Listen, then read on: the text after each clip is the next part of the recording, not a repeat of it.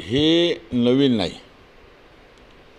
अशोकराव नाही या सबंध देशामधले जी काही काँग्रेस असेल विविध पक्षातली लोक जी नेते जी काही राजकीयदृष्ट्या जी काही ताकदवार आहेत अशा लोकांना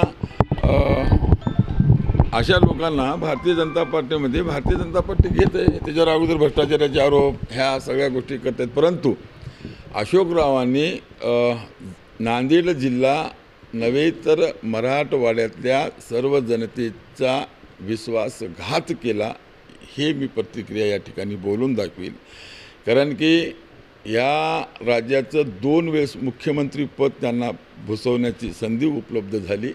राज्यामध्ये बरेच वेळेस ते राज्यमंत्री म्हणून या ठिकाणी त्यांनी काम केलं.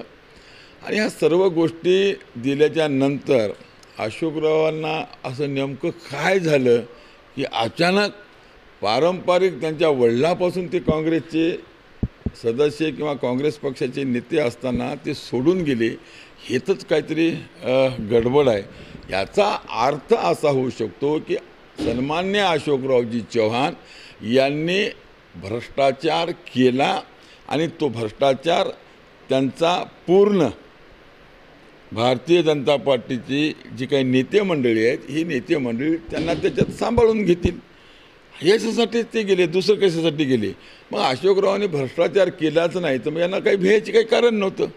मग यांनी भ्रष्टाचार केला अमाप संपत्ती जमा केली त्याच्यामुळंच अशोकराव चव्हाण हे भारतीय जनता पार्टीमध्ये गेले. आज या जिल्ह्यामध्ये अशोकराव चव्हाण हे भारतीय जनता पार्टीमध्ये गेलेत. म्हणजे नांदेड जिल्हा किंवा हिंगोली लातूर असेल परभणी काय धाराशिव असेल संभाजीनगर असेल जालना असेल जी काय मराठवाडा फार ताकदवार झाला आम्ही बातम्या बघतोय माध्यमातून. अशातला काही प्रकार नाही आहे अशोकरावाला नांदेड जिल्ह्यामध्येच आम्ही भारतीय जनता पार्टीला आणि त्यांना काय ताकद आहे हे चार दिवसात त्यांची कळून जाईल. म्हणून सबंध नांदेड जिल्हा आणि हिंगोली जिल्ह्यामधली जनता अशोकराव चव्हाणाला माफ करणार नाही आणि अशोकराव चव्हाणामुळं भारतीय जनता पार्टीला फार मोठं बळ मिळालं हे मी मानत नाही. देश विदेशातील प्रत्येक घडामोडींचे लाईव्ह अपडेट मिळवण्यासाठी आता साम टीव्हीच्या सर्व सोशल मीडिया प्लॅटफॉर्मला लाईक फॉलो आणि सबस्क्राईब करा. तसंच सर्व नोटिफिकेशनसाठी बेल आयकॉन प्रेस करायला विसरू नका.